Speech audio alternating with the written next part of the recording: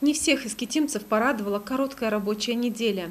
Пожар в многоквартирном доме Центрального микрорайона 13 июня поднял по тревоге экстренные службы города.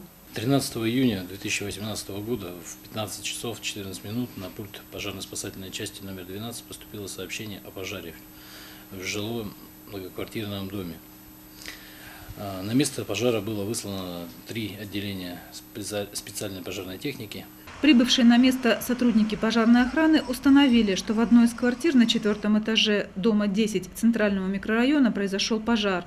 В квартире 49 обнаружен труп мужчины 1955 года рождения. Совместно с погибшим проживала его супруга 1954 года рождения, которая, проснувшись в дыму, выскочила из квартиры, а вернуться за мужем не смогла.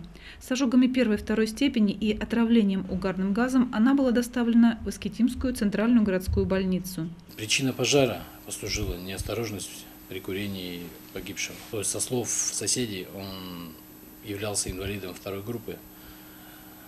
И находился постоянно на диване. То есть курить он тоже на диване, рядом с диваном была обнаружена пепельница, и как бы вот в пожарном мусоре было вот это все обнаружено.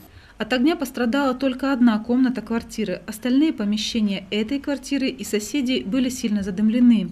Ущерб причинен соседям нижних этажей, залитых водой при тушении пожара. Если бы данное помещение было оборудовано вот такими пожарными автономными пожарными извещателями, трагедии удалось бы избежать.